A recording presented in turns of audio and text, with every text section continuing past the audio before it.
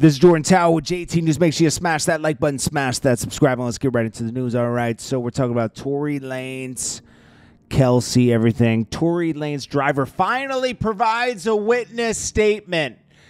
Claims Kelsey grabbed the gun and Tory tried to wrestle it from her when Meg was shot, but appeal court won't accept it as new evidence because Tory's legal team declined to call him as a witness during the, the shooting trial. You gotta be kidding. Tory might have made the biggest mistake that cost him everything in life here, okay? He's stuck in an impossible situation where he can't even get out of it. I'm going to be honest with you. Let's just call it what it is. Tory Lanez is a dumbass, okay? Trying to protect Kelsey, right? Trying to protect Kelsey and, and be this guy. You, you have a kid. If you have a kid if you have a kid, your kid is a priority. You being home. Kelsey's not your baby mom. Meg the Stallion is not your baby mom. And you have a child. Your duty is to be home and provide for your child. But yet, Tory Lanez, no wonder his girl left him that, that, that married him right before. She, she she did that because she's like she probably thought about it and said, "Wait a minute, this guy jeopardized everything we have to protect Kelsey and Meg. What? F them. They were the ones having this love triangle. Yeah, he was guilty too, but uh, they shouldn't have been both sleeping with Tory. No, they knew both knew they were. sleeping. See, Kelsey was the one in the dark. Meg is the evil one that knew that he was sleeping with Kelsey and started sleeping with him, and knew. And they got into it in the back, and Tory Lanez opened his mouth and instigated a fight.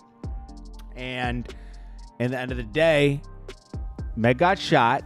And then during the trial, you refused to testify, go up on the stand yourself and tell your side. And you refused to throw Kelsey under the bus and you didn't call the driver who witnessed everything and saw that you didn't shoot her. Kelsey shot her, which we all thought happened. But if you don't present that in court, you look guilty.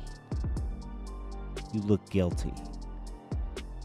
I don't see. Yeah, Tory Tory jeopardized his whole life for another woman to live her life. So stupid, bro. Let her, let people pay for their own mistakes. Let people let her.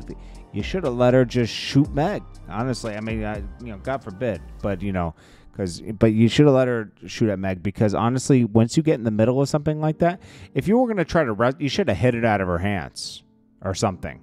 Wrestle it from her, so you guys are wrestling over a weapon. Now you're you're involved. Now you're shooting too because your your hands are on the weapon. You should have let her make her own mistakes. You should have let her make her own mistakes, man. Unfortunately. Because look, now you're paying for them. Now you're in jail. You're the one that's sitting in jail for 10 years. And they're both out living their best lives. I know it sounds cold when I said that, but I'm, I, I, it felt cold when I said it, but it's just, it's sad, man. Like, what bad decisions. He was so confident going into court, too it was like, dude, what were you so confident for? You you you were making all the right mistakes to lose, and you lost. Anyways, this is Jordan Tower with JT News. Make sure you smash that like button, smash that subscribe, and I'll check you guys in the next one. Peace.